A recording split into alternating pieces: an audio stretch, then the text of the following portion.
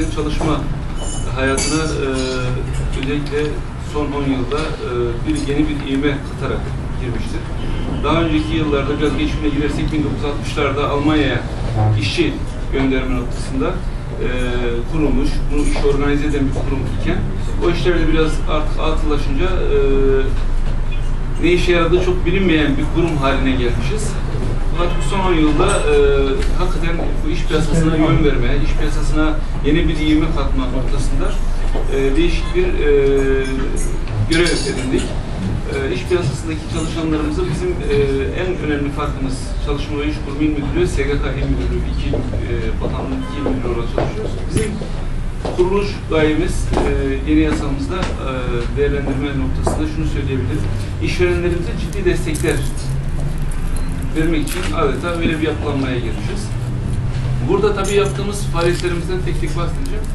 6111'den bahsedeceğiz. Ondan sonra işbaşı eğitim programımızdan bahsedeceğiz. TYP'den toplum yararına programından bahsedeceğiz. İsmi meslektaşımın herhangi bir mesleği olmayan insanlarımıza nasıl meslek edindiririz onlardan bahsedeceğiz. Kurumumuzun görevleri yansıda görüldüğü gibi istihdamın korunmasına, geliştirilmesine ve işsizliğin önlenmesinin çalışmalarına yardımcı olmak. Şimdi e, bunları tek tek madde madde okuyup ve açacağız. Daha sonra sorularınızı cevaplandırmaya çalışacağız. İşsizlik sigortası işlemlerini yürütmek. Yani çalışanlarımızın işten ayrıldıktan sonraki işsizlik sigortası işlemlerini bizler yürütüyoruz. İş gücü arz ve talebinin belirlenmesine yönelik iş gücü ihtiyaç analizlerini yapmak. Yılda iki kere yaptığımız iş piyasası anketlerimiz var. Kesin iş yerlerinizden o, e, arkadaşlarımız gelmiştir. Yüz kadar iş meslek danışmanımız var. Tek tek gezerek iş gücü piyasasını araştırıyoruz. İş gücünün istihdam etkinliğini artırmaya yönelik faaliyetlerde bulunmak. Türkiye İş Kurumu'na devredilen çalışma bölge müdürlüklerinin görevlerini yerine getirmek. Biliyorsunuz daha önce çalışma bölge müdürlüklerimiz vardı. Bizim bölge müdürlüğümüz de çalışma bölge müdürlüğümüz de Adana'daydı. Ee, onlar lağvedildi. Onların görev yetki ve sorumlulukları çalışma ve iş kurumu il müdürlüklerine devredildi. Evet, Türkiye İş Kurumu il müdürlüğü, çalışma ve iş kurumu oldu o değişiklikten sonra. Yaptığımız hizmetler, işe yerleştirme hizmetleri, iş ve meslek danışmanlığı, işsizlik sigortası, çalışma ilişkileri, meslek eğitim hizmetleri olarak ana başlıklar halinde sıralayabiliriz. Mersin Çalışma İşi Kurumu İl Müdürlüğü olarak şu anda Tarsus Hizmet Merkezi ve Anamur Hizmet Merkezi olmak üzere ilimizin dışında iki ilçemizde teşkilatlamış bulunmaktayız ki yakın zamanda e, Silifke'de de böyle bir teşkilatlanma hazırlığındayız. O da gerçekleşeceğini ümit ediyoruz. İş yerleştirme hizmetlerimiz değerli arkadaşlar, kamu özel sektör ile iş arayanlar arasında köprü oluşturmayı e, hedefliyoruz. Kamudan ve özel sektörden iş arayanlarımızı işverenlerle buluşturuyoruz. Şimdi burada iş arayanlar ve işverenler açısından iki farklı olarak e, noktada değerlendirebiliriz faaliyetlerimiz. Ben bugün daha ziyade işveren noktasına bakacağım. Çünkü buradaki arkadaşlarımız bildiğim kadarıyla genellikle işveren arkadaşlarımızdan oluyor. Burada doğru talep, ücretsiz yayın ve takip olayında desteklerimiz oluyor. Bunlar nedir? Açacağız. Ee, personel ihtiyaçlarının karşılanması, işbaşı eğitim ve meslek eğitim kursları, yasal yükümlülükler. Bu üç ana başlıkta işverenlerimize desteklerimiz oluyor. İş ve meslek danışmanlığımızın faaliyetleri, işte doğru kişi, doğru zaman, doğru yerde, doğru maliyetlerle oluşturmak noktasında işverenlerimize desteğimiz oluyor. Bu tablo konusunda biraz bizim istatistik şeyleri pek sevmiyorum. Ben sonuç odaklı konuşmayı seviyorum. Buraya geçeceğim müsaadenizle. İş piyasası etki oranımız var burada. Şimdi işbaşı eğitim programı. Öncelikle bundan bahsetmek istiyorum. Ee, İbrahim Bey'le de dünkü görüşmemizde en son değişikliğimiz bu hafta olan bir değişiklik oldu. Evvelden işbaşı eğitim e, programımız biraz sorumluydu. İşverenlerimiz pek konuya girmek istemiyordu.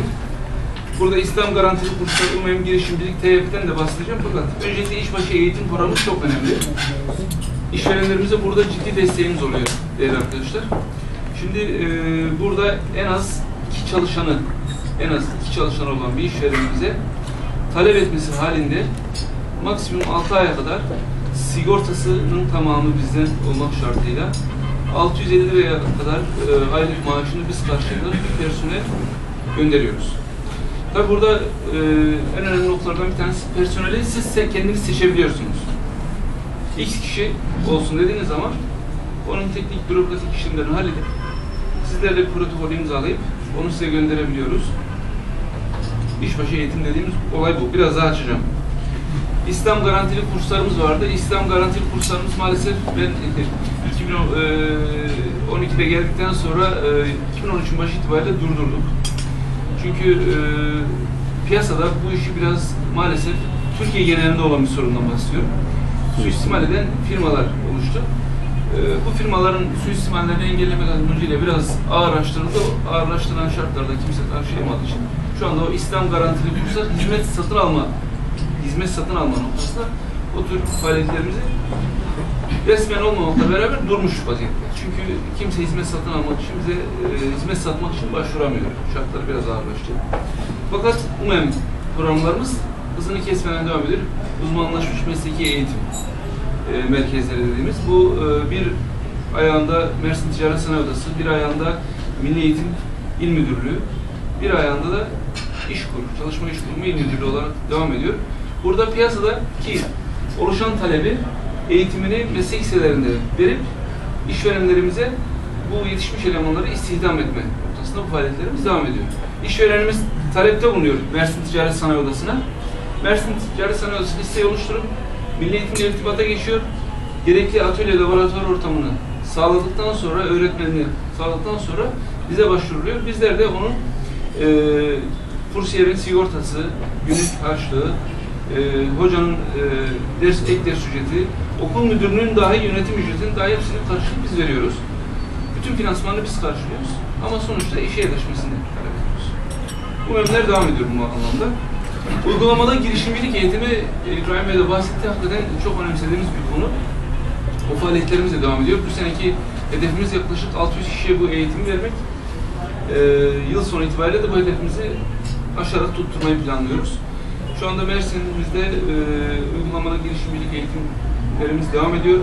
Erdemli Ticaret Sanayi Odası ile yaptığımız işbirliğiyle orada da şu anda kursumuz var devam ediyor. Tarsus'ta yaptık. Toplamda 600 kişiyi aşacağız bu sene. Uygulamalı girişimcilik eğitiminin e, gerçi slaytlarda gelecek ama başlamışken bahsedeyim ben yine soru soranları alabiliriz.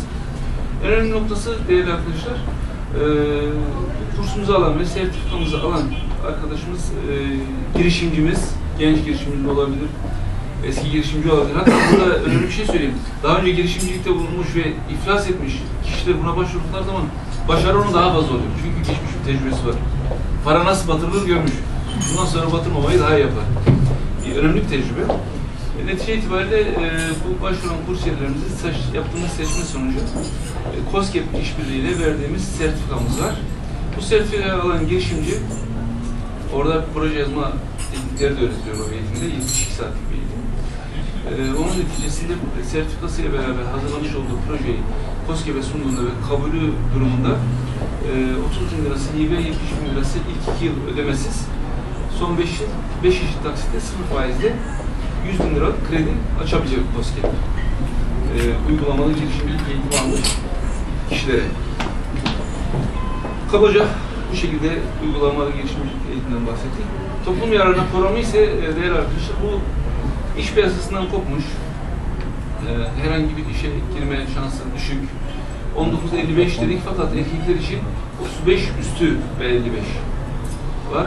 35'in altındaki erkekler e, bu sene özellikle getirilen kuralda e, bu programdan faydalanamıyor. Ama bayanlar için böyle bir sınırlama yok. Bayanlar 19-55 yaş arasında geçerli. Özellikle okuma yazma bilmeyenler tercih sebebi olarak kamu kurumlarında çevre temizliği, altyapı çalışmaları, işte e, bu tür işlerde çalıştırmak üzere maksimum yılda 9 ay geçmemek üzere istihdam ediyoruz. Asgari ücret üzerinden maaşını ve sigortasını yatırıyoruz. Ve buradaki e, UMEM, ondan sonra işbaşı eğitim programlarındaki sigorta da var. Fakat buradaki sigortadaki sigortayla oradaki sigortanın arasında temel bir fark var. UMEM'lerle işbaşı eğitimdeki sigorta stajyer sigortası oluyor. Yani emekliliğe sayılmıyor. İş ve meslek kazalarına karşı e, genel sağlık sigortası kapsamında yapılan bir sigorta. Fakat e, girişimcilikte de var bu sigortamız var. Toplum yararında ise emekliliğe sayılan tam sigorta yatırıyoruz. Primlerini girimizi taşıyoruz. Ve bunda e, sanayinin çok geliştiği, ne bileyim işçi bulmakta zorluk çeken yerlerde bu pek tercih edilmiyor. Örnek Antep, Gaziantep pek TYP istemiyor. Çünkü gerçekten ciddi anlamda yani e, orada bir dört yılımız geçti. Herhalde Kilis Üniversitesi'nde olsa da Antep'te yakın ilişki içerisinde. İşçi bulmakta güçlük çekiyorlar. Sanayileşme çok ciddi anlamda Antep'te ileri bir noktada. Dört, beşinci organize sanayi bölgelerini e, Antep Kilis arasında ortak şu anda çünkü yer yok. Fiziki alanda yer sahnesi şurada. Yer. Orada TYP pek istenmiyor çünkü hani iş piyasasından kopanlara verilen bir imkan ama e, piyasasının güçlü olduğu bir yerde böyle bir TYP e, imkanı sunulduğu zaman iş piyasasından koparılmış oluyoruz insanlar. Kolaya gitmiyor. O yüzden orada pek o tür yerlerde tercih edilmiyor. İşbaşı eğitim programı ile ilgili olarak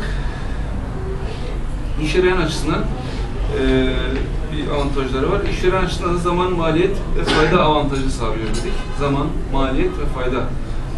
Eee, kendi personel ücreti yetiştirme, sürekli personel ihtiyacını karşılama noktasında faydası oluyor.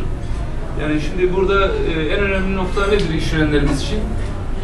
Bir eleman alacaklar zaman tecrübesi var mı? Bu işi yapmış mı?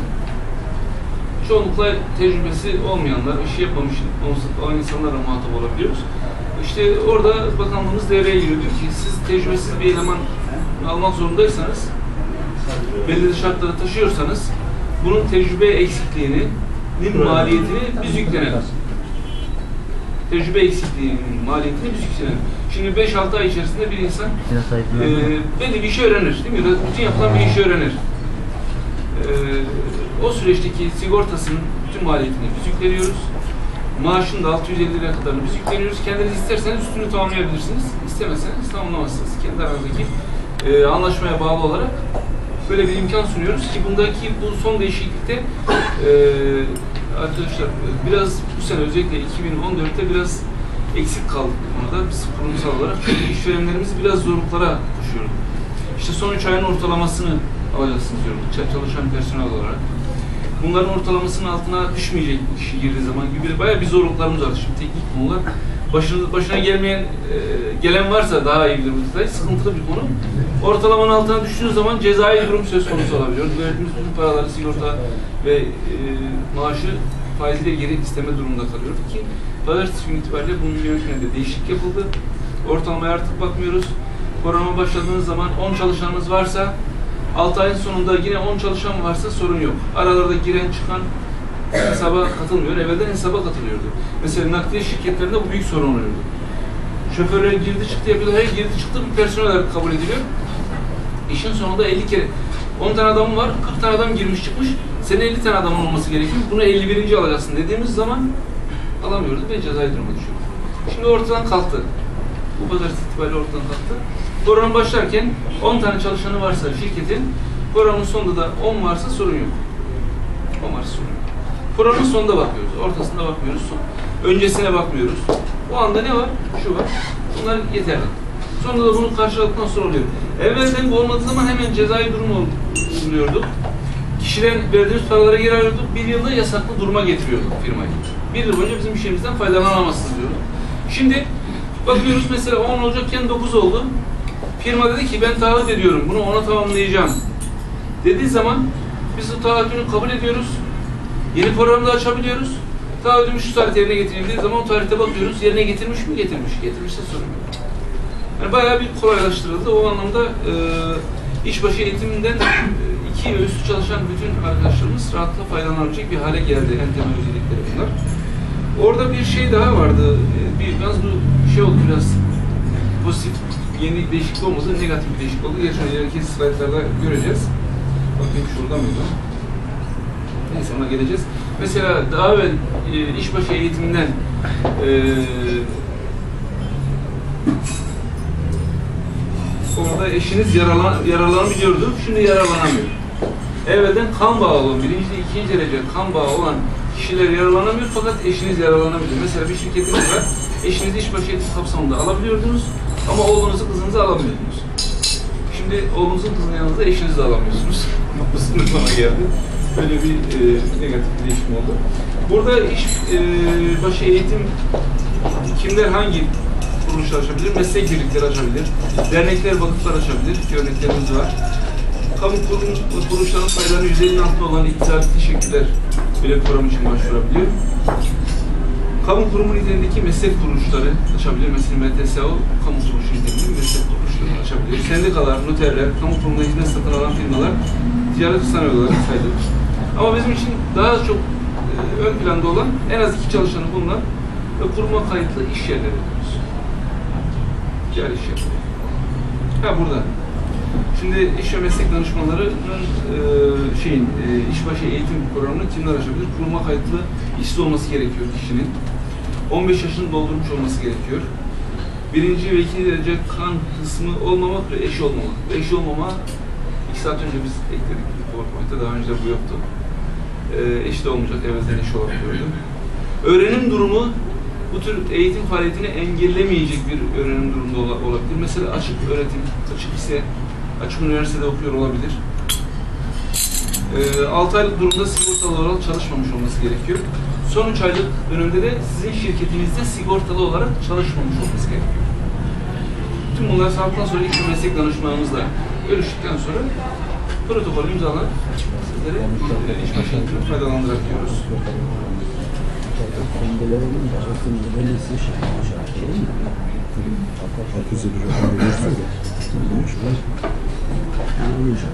Şimdi bir iş yeri. İşbaşı eğitim programına başvurabilmesi için şöyle adım adım e, onu sunumumuzda. İş yeri kuruma kayıtlı olmalı. Yani şirketinizin kurumumuza kayıt olması gerekiyor. Kaydı yoksa e, bir dakikadan az bir sürede kaydını gerçekleştirmesi herhangi bir sorun olmaz. İş yerinin e, başvuran ayda en az sigortalı çalışan, iki sigortalı çalışan olması gerekiyor. Başvurduğun mesela 11. ayda ben bu programdan faydalanmak istiyorum. O ayda en az iki sigortalı çalışanımız olacak. İki değil de 11 olursa ikiye bir kişi veriyoruz. 11 ve ikinci kişiyi veriyoruz. 21'e üçüncü kişiyi veriyoruz. Bu şekilde kat, onun katlarıyla gidiyor. Gerçi devam ediyor bunda. Stajyer olacak kişi, biz bunu stajyer olarak değerlendiriyoruz. İşbaşı eğitimden faydalanacak olan e, personeli son 3 ay içerisinde iş yerinin çalışanı olmaması gerekiyor. Yani e, sigortasız çalışmaya karşıyız fakat sigortasız bir çalışansa o iş yerinde zaten kayıtlarda o orada çalışmıyor. Böyle bir sorunumuz yok.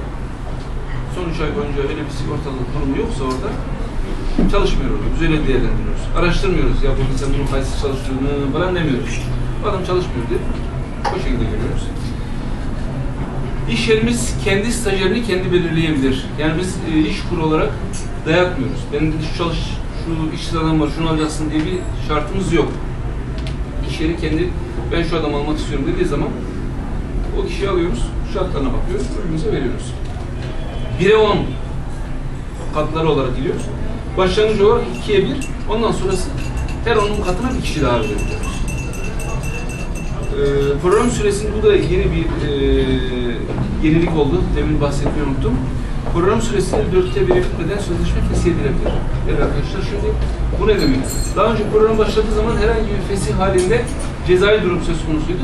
Fakat mesela 100 gün 100 günlük programımızı başlattık, protokolleri imzaladık, e, kişiyi veya da kişileri aldınız.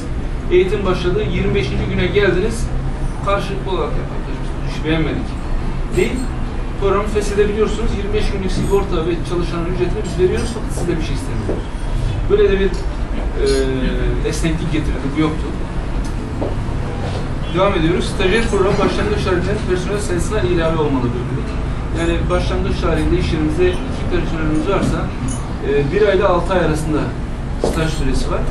İşte protokolümüzde bir ay verirsek bir ay, altı ay verirsek altı ay, iki, üç ay, dört ay, beş ay da verebiliriz. Protokole bağlı bir işlem konusu. Netice itibariyle staj süresinin bitiminde iki kişi varsa stajyerimiz üçüncü olarak istihdam edilmesini istiyoruz. Önemli olan nokta bu. Son bir yıl içerisinde stajyerlerin en az %50'sini en e, az 60 gün istihdam etmiş olması gerekiyor şirketin. Yani çalıştırdığı stajyerlerin 100 kişiden 20'sini almış olması ve 60 gün çalıştırmış olması gerekiyor. Ki, e, bu programdan faydalanmıştı evvelden firma tekrar faydalanmak için. Fakat hemen diğer şeye geçiyorum. Yani bu yeni bir yenilik olarak bunları yapmadığı zaman evvelden bir hesapta oluyordu. Verdiklerimizi geri fakat firmamız eğer ta, istihdam taahhüdü verirse İslam taahhüdü vermiş durumda. Ben tamam arkadaşlar İslam etmedim bu eski çalışanlarımdan. Böyle bir sorunum var. Bir yazılı taahhüt veriyorum. Ben bu İslam'ı gerçekleştireceğim. Ama yeni programımıza da başlamak istiyorum. Tamam diyor, senin hesaplarına kaldırdık. Taahhüdünden dolayı yeni programı başlatabiliyoruz. Böyle de bir esneklik var. Bu anlamda çok esnek oldu e, geçen yıla oranla. Bundan faydalanmanızı istiyoruz. Geçiyorum. Şimdi işbaşı eğitim konusu bu. İşbaşı eğitimle ilgili soru yoksa ben işsizlik sigortası kısmında ilgilenmek istiyorum.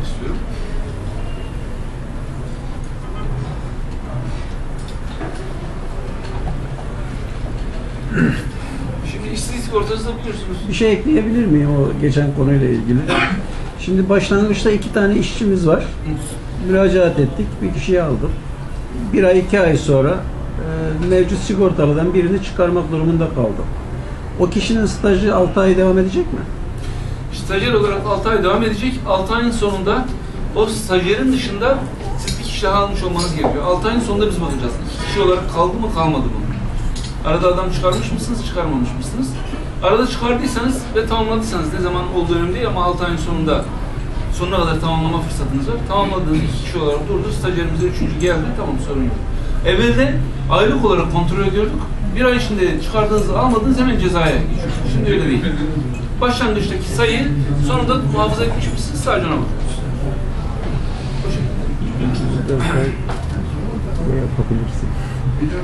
Ne yapabilirsin? Tabii. stajyer olarak şeyi kendi birinci yakınınızı veya şeyi sormanı alabiliyorsunuz. bekliyor. Eşinizi, oğlunuzu Evet. alabiliyorsunuz. Peki sorum şu. Bir eczane veya bir mali müşavirlik bürosu. İki kişi çalışıyor. Üçüncü kişi stajyer olarak kendi oğlunuz geliyor veya eczanedeki eczacının kızı geliyor. Stajyer olarak geliyor çünkü ikisinde de stajyer olarak çalışmak bir boyutu var kanunen. Birinde yanılmıyorsam iki sene, birinde üç sene. Evet. E peki bunlar şimdi stajyer olarak alamayacak mısınız birinci derecede yakın olduğu için? Şimdi stajyer olarak çalışmalarında bir engel yok. Bizim staj imkanımızdan yararlanmasına engel bir durum var. Yani e, mesela Arası benim oğlum meslek lisesinde okuyor. Stajyer. Benim kurumda staj yapma imkanı var. 10 tane stajyer öğrenci alabiliyoruz. Stajyer olarak gelir çalışır. Fakat bu iş başında eğitim programımızdaki staj programından faydalanamıyor. Ama bu, bu da eğitim. Çünkü bu eğitimi görecek ve sınava girecek sonunda. Ya şimdi bu dediğiniz biraz Güzel sıkıntı. bir ayrı bir konu var. Eğitim ama bu bir sertifikasyon eğitimi girmiyor. değil. Mesela bu mem olsa dediğinize Abi katılıyorum. sizinle orada da elbette değilim. Çünkü sonunda bir sertifika alıyor ikisi de. Başka bir meslektaşın yanında yapabilir. Yok biz burada sertifika vermiyoruz. Pardon. İşbaşı eğitimde sertifika yok. UMEM projelerimizde sertifikasyon var ama işbaşı eğitimde tamamen Bunda sertifika yok. Tamamen- Başka bir meslektaşın yapabilir ama. Efendim? Başka bir meslektaşın yanında yapabilir. Hiçbir sorun yok. Hiçbir Yani- sorun yok. Başka meslektaşınız yapabilir. Kendi bürosunda yapamaz ama başka bir meslektaşın Ama mesela eczacılıkta iki yıl staj gerekiyor dediniz ya mesela. Bizim programımız 6 ay geçemez. Böyle bir şey var. Onun mesleki bir staj. Şimdi o kendi eczacılar odasının koyduğu bir kural. Ayrı, ona biz tamam. Kanun da gelmiş biz. Bravo. Yani işte o, onun biz ona biz bir şey diyemiyoruz. Fakat bu staj programımızdan faydalanması için güzel. sağlaması gerekiyor. 6 ayda geçemiyor. Altı ay sonra ben- Birinci, ikinci çalışıyor, çıkarıyor. Birinci ayda yine çıkmış. Üçüncü Şimdi çalışıyor. e, altı ayın sonunda ayrıldığı zaman e, onun yerine yine birini almanız gerekiyor. Çünkü bir şekilde bir istihdam gerekiyor. O kişi kendi memnuniyetsizlik oldu mesela. Yani memnuniyetsizlik iki ay içerisinde çıkıyor. Altı ay sürmüyor. Altı ay sürdüğü zaman biraz yani e, belki olabilir yani spesifik olarak olabilir ama bu evvelden e, şey oluyor, suistimal ediliyor. Zaten o suistimaller yüzünden biraz ağırlaştırıldı. Ağırlaştırınca hiç hareket olmaz oldu. Çünkü alıyordu firma, ben bunu çok gördüm. Alıyordu firma, 6 ay çalışıyoruz, 6 ay sonunda diyoruz. Memnun değiliz ekibimizden. Ayrılıyor, o gidiyor başka bir tane daha istiyor. Suistimal ediliyor belki. Devamlı o kanalı kullanmış oluyor. Sürekli o kanalı kullanıyorlardı. Ağırlaştırdı, çok ağırlaştırdı. Hiç kimse hareket edemez oldu. Şimdi biraz esnetildi ama 6 ay sonra yine olması gerekiyor. Tabii 6 ay değil de mesela 1 sene, 2 sene falan Yo yo yo. Mesela 6 ay sonunda 2 ay çalıştırdınız bir problem çıktı çıkardı. Hiçbir sorun yok. Bir iki sene değil. 2 ay maksimum 2 ay. Tamam. Ay stajının sonunda kişinin çalışma 60 gün. ömrünün sonunda iki 60 ay. gün. İşte 60 gün boyunca size çalıştı. İşte 2 aya tekabül ediyor. Çalıştırdınız. Memnuniyetsizlik oldu ayrıca hiçbir sorun yok. İşte e, o biraz sıkıntılı bir konu. Kendi istifa etmesi. Düşünmeniz gerekiyor. Zaten size bırakıyoruz adamın seçilmesini. Etmeyecek adamın seçilmesi adamın Ya işte orada hakikaten o konu 60 biraz... gün dolduracak. Öyle istifa edecek. Evet. Adam etse bile çıkış vermeyeceksin. Evet. Ya uyduracaksın. Yani istifa ederse ne olur? Stajyer bir şey yaptırım yok mu? Kendisi istifa edeceği zaman. Kendi istifa etti. Kötü yok mesela. Ya şimdi Bu burada... aylık süreyi mesela daha süre etmesi lazım. Şimdi. Burada stajyerden ziyade genellikle işveren bu konuyu istismar ediyor. Stajyer iş bulduktan sonra çıkmak pek istemiyor. Bazen çok nadir o da oluyor. Onu da gördüm. Stajyer daha güzel bir iş görüyor. Kaçıyor. Sonra işverene oturuyoruz. Biraz da esneklik sağlayarak yeni bir eleman almasını yine sağlıyoruz. Oluyor. Ha neticede burada işveren altı ay faydalanmış oluyor. İşverenin bir zararı yok. Stajyerin kendi ahlaki problemi oldu. Ama böyle de bir eksiklik var. Müdürüm bir şey sorabilir miyim? Tabii ki. Şimdi konuşmanızda bu ortalama ile ilgili bir şey söylediniz. Yeni bir yönetmelik yayınlandı, yeni. Evet. Şimdi 6570'ler torba yasa var biliyorsunuz. Daha önceki yıllarda, 12-13 yılında farkında olmadan ortalamayı kaybeden işverenler. Yönetmeliğe giriyor mu veya o e, torba yasaya mı? Şimdi torba yasayla bizim e, pek bir şeyimiz yok. Bir bir şey gidiyorlar. Şöyle söyleyeyim. Bizim bu staj programından faydalanan kişiler, e, işverenler ortalamayı tutturamadığı zaman biz şöyle 6 aylık bir program protokol imzaladık. Yani geçmiş yıllar falan alakası yok. Alt, maksimum 6 aylık. Bundan sonra. Evet. Evvelden de öyleydi yani. Şimdi evvelden öyleydi fakat evveldeki Yazara sorun kaldırıldı. Hayır hayır. O sorun kaldırıldı şimdi. Aylık olarak ortalamaya bakıyorduk biz. Aylık olarak. Mesela program başlangıcında 100 kişi var işverenin.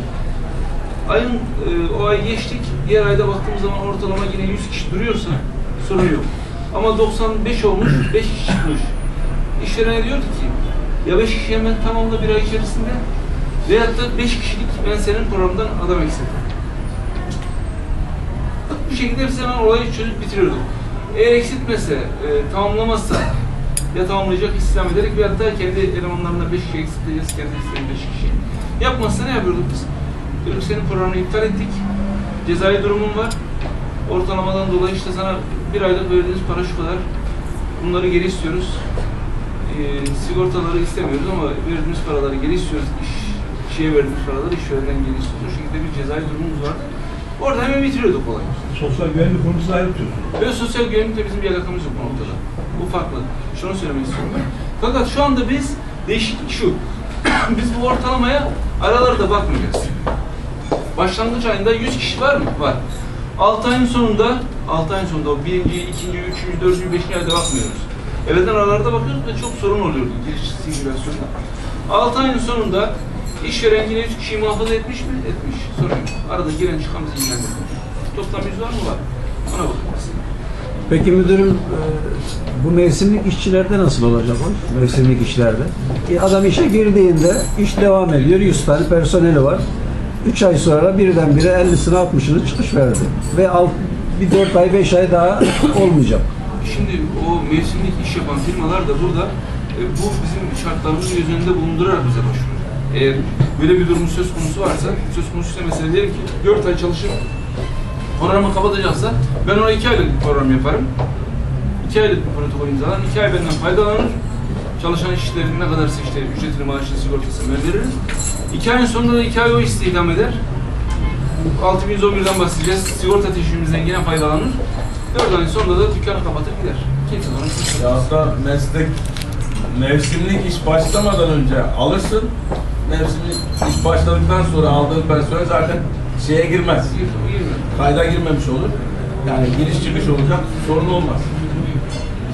Mevsimlik iş Yani- başlamadan önce sayı artmışsa 6 ay kesin diye bir kuralımız yok. Biz mesela e, teknik konuları itibariyle mesleklerde 6 ay veriyoruz. Hizmet konuları itibariyle mesleklerde 3 ay veriyoruz.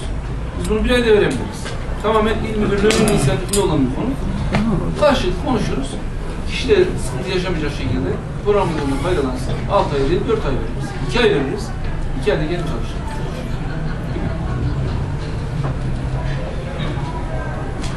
İşsizlik sigortasına geçiyorum değerli arkadaşlar. Şimdi yeniden iş piyasasına girmelerine yardımcı olmak ve var olan gelir kaybını önlemek amacıyla 6 ile 10 ay arasında istihdam ödeneğiyle desteklenmede e, işini kaybeden kişiler. Buradaki en önemli e, unsurlar şunlar. Kendi istek ve kusur dışında işsiz kalacak kişiler. Yani kendi isteyemeyecek ve kendi bir kusur, kusuru sonucu işten atılmış olmayacak, işveren çıkarmış olacak. Son 3 yıl içerisinde 600 prim günü olacak yatırılmış o prim günü. Hizmet aktifesinden önce 120 gün aktif prim ödüyor olacak. Bundan faydalanabilmesi için e, işçinin bu şartları sağlayan işçiler gelip bizim işsizlik sigortası servisine bize başvurdukları zaman e, onun bilgileri sisteme girilip e, en fazla bir ay içerisinde yani bir ayın o başvurduğu ayın diğer ayın başlangıcı itibariyle olmak üzere maaşını bağlıyoruz şartlarını taşımak şartıyla. Bize mesela e, Ocak-Eylül 2014 döneminde 12 bin 12 kişi başvuru yapmış işsizlik sigortasına. Hak eden kişi sayısı 6855. Burada sizler işten çıkarırken ki girdiğiniz kod önemli. Ve kişi kendi isteğiyle ve hatta mesela affedilmez bir kusuru nedeniyle çıkardığınız zaman işsizlik sigortasından faydalanmayı hırsız iş yeri ihanet. Siz bunu tespit ettiniz, tutanağa bağladınız, haklı gelişiyle feshettiniz ve adamı kapı dışarı ettiniz. Bu işsizlik sigortasına başvuramıyor. Ve hatta ben çıkıyorum diye istifa dilekçesi verdi, çıktı, o da faydalanamıyor. Ama işveren haklı bir neden olmadan ben küçülüyorum, ben şey yapıyorum, yani şartlar uygun değil deyip işten çıkartıyorum. İşsizlik sigortasına başvuramıyor eee ve maaşını hak ediyor. İkinci defa yani. E yine e, o süreçler dolduktan sonra faydalanamıyor. Performansını beğenmedi. Performansını beğenmedim çıkardım. Faydalanır. Evet. 3 yıl, 3 yılda bir 3 yıl içerisinde bir faydalanıyor. Tabii, işte. Yani o 3 yıl son 3 süreçleri doldurduktan sonra. Son 3 yıla göre hesaplanıyor. Evet. Olur. Zaten e, o şekilde faydalanmak isteyenler işlerine işte gidip duyuyoruz yani yalvarıyor. Beni beğenmiş, beni çıkar diyor da ben işsiz oradan faydalanırım. Ama yani işte burada hakkaniyet ölçüsünde gitmek lazım. Yani hakikaten düzgün değilse çıkaralım ama böyle 6 ay, 10 ay gidip yatayım, para alayım, tembelliğe alışayım. Bize göre biz doğru değerlendirmiyoruz ama tabii işverenimizin e, çıkarma usulü kendini bağlar, kendini, herkes kendi kararını kendi verir. Biz onu uygularız. Şimdi e, değerli arkadaşlar, bu çalışma bölge müdürlüklerinden devredilen görevlerimiz hakkında da sizi bilgilendireyim. Çünkü bu hakikaten teşviklerimiz olduğu kadar e, sizleri sıkıntıya düşüren konular var. Onlar da bize geliyor. Yani iş şikayetleriniz, işçileriniz işten çıktıkları zaman değerli arkadaşlar sizleri bize şikayet ediyorlar. Bize geliyor mahkemelerinde. Bizim e, servisimize geliyor, çalışma ilişkileri servisimize geliyor. Burada iş şikayetlerini biz inceliyoruz öncelikle. Toplu iş çıkarmaları bize geliyor. İş sağlığı güvenliği defterleri. Ha bunu da ben geçen e, bir yine bir meslek kuruluş birliğinde anlattım. Şimdi bu iş sağlığı güvenliği defterleri değerli arkadaşlar biliyorsunuz noterden ücret mukabili onaylanıyor. İş buradan bila ücret, ücretsiz olarak onaylanıyor. Yani bize getirirseniz defterlerinizi biz ücretsiz olarak onaylarız iş sağlığı güvenliği defterlerinizi. Ama noter de onaylayabilir, noter ücret alır. Böyle bir avantajımız var. Yabancı, yabancıların çalışma isimleri de e, bizim üzerimizden Ankara'ya çalışma genel müdürlüğü yollanarak onaylanıyor ve onaylanmıyor. Kamu işçi talepleri de bize geliyor. Burada en önemli nokta e, birinci